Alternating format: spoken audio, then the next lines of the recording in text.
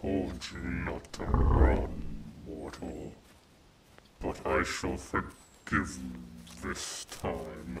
But I shall not be so forgiving if you try to flee again. You are mine. And mortals are much like crystal goblets. Some plain, some beautiful, but all fragile. But you, you are a true work of art. Beauty such as yours truly is rare. You're blushing, mortal. You see, mortal, I only wish to keep you safe. Yes, from drift as well. He would have drowned you. There is no doubt within my mind, mortal. I have known him for many years. You wish to know about him? I see.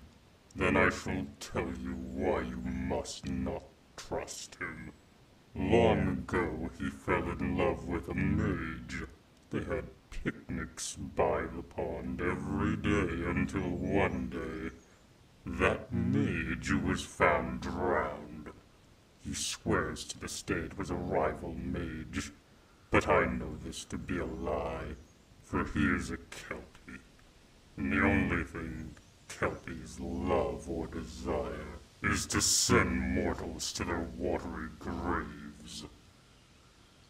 But now that I have told you of Drift, I wish to give you a warning. Should you flee again, your fate will not be the happy life I wish for you, one of comfort, where your needs shall be met. But it shall be a fiery death. I have burned towns to ash and cinder for angering me, so do not anger me again, mortal. But I can see in your eyes you truly wish to stay with me. and to see you choose me over that slimy Kelpie shows I can trust you not to leave again. You must remember, mortal, I will hunt for you to feed you, as well as I have many fine garments to clothe you, and water to drink as well as wine if you wish. Yes, mortal, anything you wish you shall have.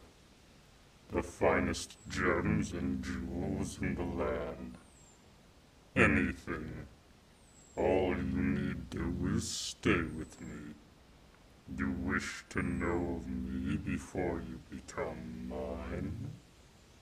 Then, ask what you wish to know, mortal.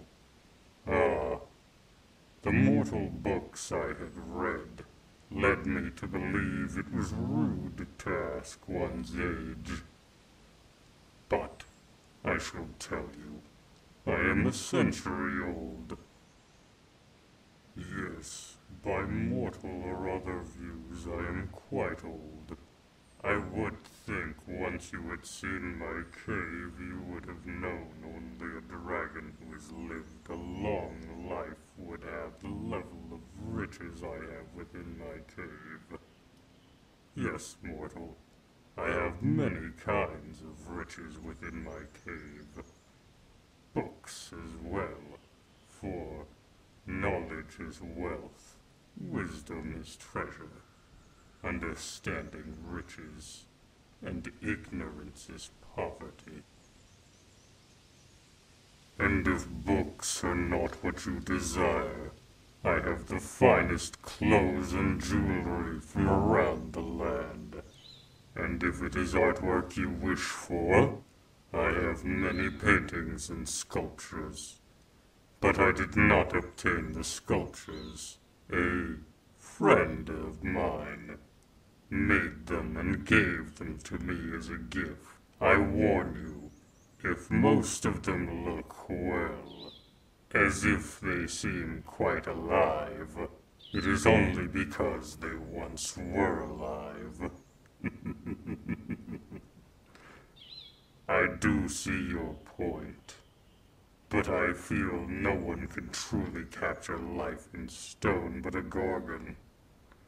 And I know not of what their life before they became art was. So why should I care for what has become of them? But we have returned back to my cave, and your new home. You shall not be leaving again. Do you understand, mortal? Good. Now, let us speak more in my cave.